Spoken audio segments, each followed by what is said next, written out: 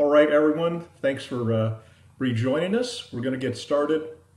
It's my pleasure to introduce Sarah Adair. Sarah is Director of Public Policy for Duke Energy, and she's also a member of the Southeast Hydrogen Energy Alliance Board of Directors. She leads the federal electrification and emerging technology policy for Duke Energy, including advanced clean energy technologies such as clean hydrogen and long duration energy storage. So she's kind of on top of both of these topics coming up uh, on this session today. so she was previously director of environmental policy affairs in uh, North Carolina. Uh, she uh, was a senior policy associate at Duke Energy's Nicholas Institute. And she holds a master's in environmental management degree from Duke University and a bachelor's from Northwestern. Sarah, if you would lead us into our featured speaker. Thank, thank you, David, and good afternoon, everyone. It's a real pleasure to be here and, and an honor to introduce our featured speaker this afternoon, um, Dr. Sunita Satyapal. Um, Dr. Satyapal is Director of Energy Efficiency and Renewable Energy's Hydrogen and Fuel Cell Technologies Office within the U.S. Department of Energy. Um, I will let you read about her many accomplishments uh, in the bio that E4 provided um, in, in the materials for, for today's event. I know we're all anxious to make the most of our short time with her um, this afternoon, given all the exciting work that's going on in hydrogen and that we heard about earlier um, on the panel that, that Scott um, moderated. So with that brief introduction, uh, Dr. Satyapal, um, I want to thank you for your time this afternoon. We're so pleased that you could join us and I'll go ahead and turn the floor over to you. Great. Thank you so much, Sarah and David. And just wanted to thank all of the organizers and just all of you for the leadership, especially at the regional level. So this is a really exciting time. And I'll start with just the big picture um, in terms of the US energy landscape. I think most are probably familiar with this, but you can see the renewables here. We have quite a diverse um, set of renewables. And actually last year, for the first time, renewables surpassed coal in terms of primary energy consumption. And you can see nuclear and, but you can see we rely still very heavily on fossil fuels. So I think the main message um, that I wanted to convey is that sense of urgency and um, many goals, concrete goals. Here showing uh, two of the administration's priorities: net zero by 2050, uh, also, you know, cutting in half by 2030, and a completely clean grid by 2035. And the other major one I wanted to highlight is our environmental justice priorities and ensuring benefits, for instance, Justice 40, where 40% of our federal benefits um, need to be in disadvantaged communities. So this again is a really high priority in everything we do. And hydrogen is just one part of a very broad portfolio of activities in the toolbox. And so if you're not familiar, we do have a DOE-wide hydrogen program plan that's been published um, almost a year ago. And then we coordinate across offices. So EERE renewables, fossil with CCS, nuclear, electricity, ARPA-E, Office of Science. Um, and we, and so our, our office, my office coordinates across all, also with other agencies and we provide funding to um, industry, universities, labs, and, and so forth. And so the, the top three priorities are really getting to low cost and clean hydrogen. Obviously, we have to address delivery and storage, and then end use applications at scale, and as well as enabling activities like workforce development, codes and standards. And so the scale is really what I wanted to focus on here. Uh, and a big kudos to all of your efforts. But this uh, picture, if you haven't seen it, uh, is represents our H2 at scale initiative, which was developed with our national labs and industry and broad stakeholders um, nearly five years ago. And it really depicts that sort of Swiss Army knife view of hydrogen and its versatility. So all of the domestic resources um, and we have today's conventional grid and conventional natural gas infrastructure. But if we would produce hydrogen, we could produce hydrogen, we could store it, either feed it back to the grid or dispatchable power, and then use it for multiple applications across sectors. So it really gives you that additional versatility and optionality. It can be more dispatchable. And so what we're looking at are really the, the top three priorities are industry and chemicals. So this is where the hard to decarbonize sectors such as steel, alone, for instance, accounts for almost 8% of global um, emissions. Transportation, especially heavy duty trucks, and then power, especially long duration energy storage. So unfortunately, I'll have to miss the next um, session since I have hard stop at one o'clock.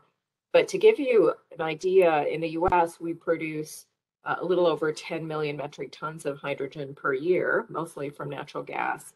But we see scenarios where we could potentially produce even five times more. And also to give you an idea, if we produced another 10 million metric tons, that would basically double today's solar and wind deployment. You know, if we use solar and wind um, just to produce that hydrogen as, as an example, and then a lot of potential in terms of jobs and economic benefit. And so if you ask, you know, where are we today with hydrogen and fuel cells? We update this is already out of date, but we update it periodically. But the key is that there are thousands of fuel cells commercially available, backup power, forklifts, um, buses, vehicles, mostly in California. And you can see most uh, regions have hydrogen from natural gas. We have some big flagship projects here. Um, and then we just started um, monitoring the PEM electrolyzer installation. So it's only about 170 megawatts so far, but a lot of announcements uh, planned. Four gigawatts actually is the world's largest in Saudi Arabia. And then we have almost 2,000 miles of uh, dedicated hydrogen pipeline, mostly in the Gulf Coast. We have three uh, geological caverns, the world's largest in Texas. And then many states have plans for hydrogen and for infrastructures. That gives you a snapshot but the key is really getting the cost down and getting to scale. And so, as a reminder, President Biden in April um, at the climate summit asked our Secretary of Energy, you know, what more can we do to really accelerate, to speed the development of critical technologies to tackle the climate crisis? And that was the beginning of the Energy Earthshot initiative. So these are bold, ambitious targets, so similar to the moonshot from over half a century ago. And the very first that our secretary announced was the hydrogen shot. And so this is a again a bold, um, ambitious, clearly articulated target to galvanize the entire community, and it's one one one. So one dollar for one kilogram of clean hydrogen in one decade. And today hydrogen is a dollar fifty or less with low cost natural gas. And so the key again is to be competitive and a sustainable from a sustainable perspective, we have to still get the cost down. And so we had the summit. Some of you may have attended. Again, thousands attended over two days. We had Secretary Granholm, um, Secretary Kerry, Bill Gates. We had 100 speakers, CEOs. It was, it was great attendance. And we asked, you know, for a lot of feedback. And I thought I'd share just one example when we asked, you know, what are the, main barriers? And you can see cost uh, is big here, as well as lack of infrastructure, public awareness or understanding. Um, and you can see again a lot of other uh, smattering of other issues that need to be addressed if we're really going to get to hydrogen at scale to have impact. And so what we're doing next is looking at all the possible pathways of getting to that 111.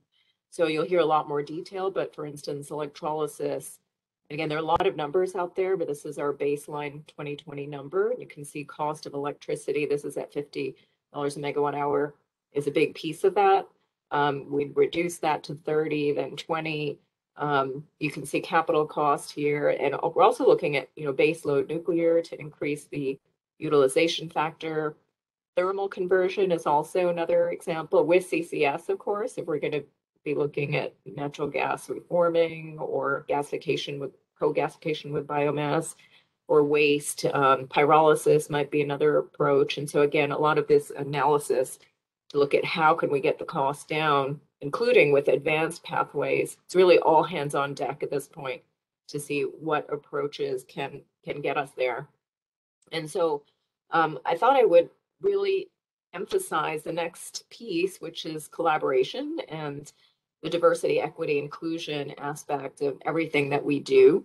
And here also, just I've, I've used this quote a lot lately, but emphasize that it now more than ever, uh, in terms of you know this this point that we're in, in in history, is we need all hands on deck, and it's not I think there are many scientists and engineers probably in the audience, and we know that no matter what you do, or no matter how hard you try, no one person can whistle a symphony. So we need the all all the stakeholders, so industry and investors, hydrogen producers and end users, and academia, national labs, and uh, the various states, and also all the countries. Again, hydrogen will um, play a, an integral role from a, global perspective as well. So that's sort of the the main message here to bring uh, all all hands on deck.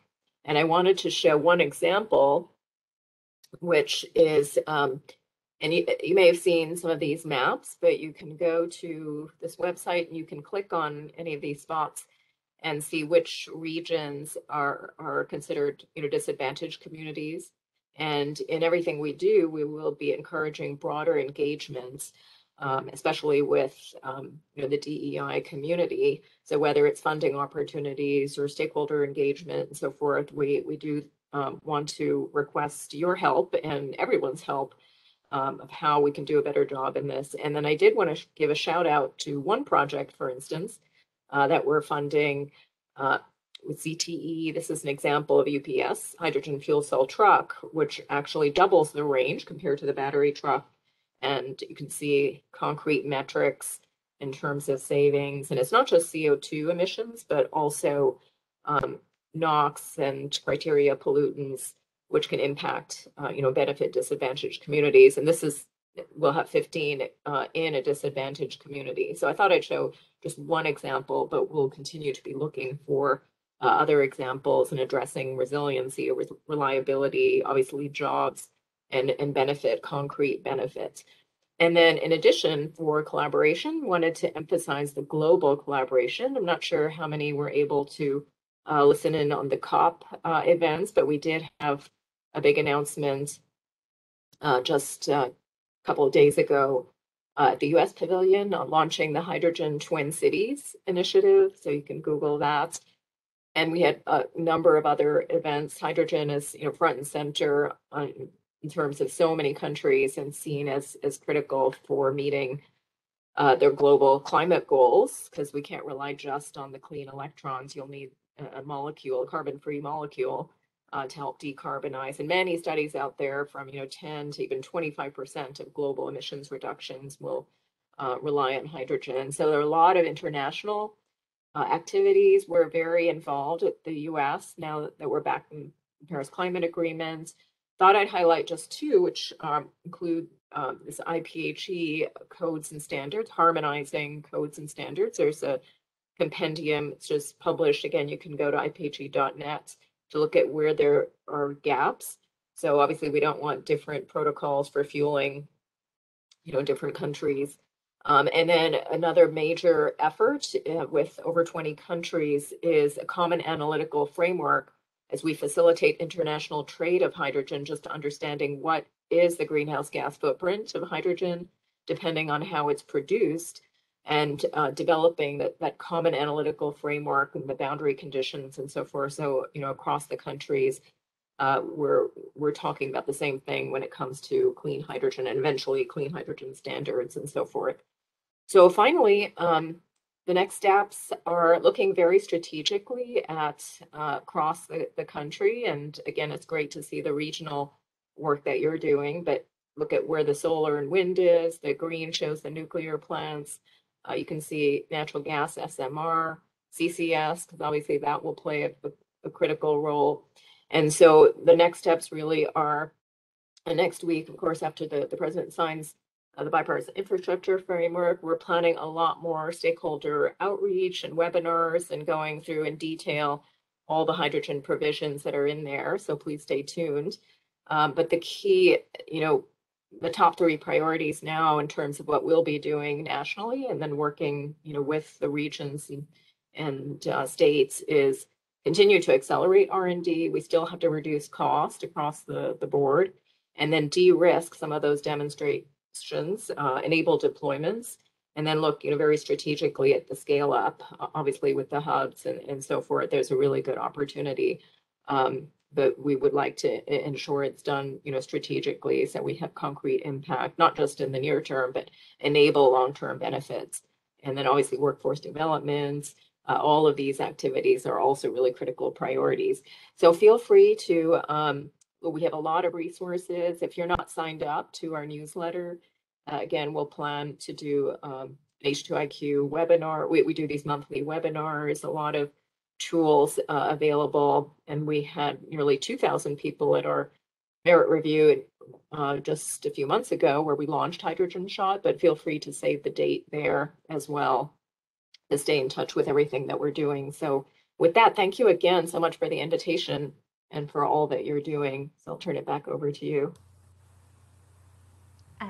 Thank you, um, Dr. Satyapal. That was um, a really wonderful overview and very timely one. So we, we really appreciate you, you being here again today. Um, I, I, think, David, you said Scott had a, a question. I'll um, maybe turn it over to him uh, to ask his first and then uh, use my moderator's prerogative to ask the, the last one before we uh, let you go. Yeah, Sarah, Scott's not back from uh, his other session, but uh, I know Bill Brown and Thomas Cope from Siemens, Bill from Eight Rivers Capital's on. They, they may wish to pose a quick question. They're from the uh, hydrogen panel earlier this morning.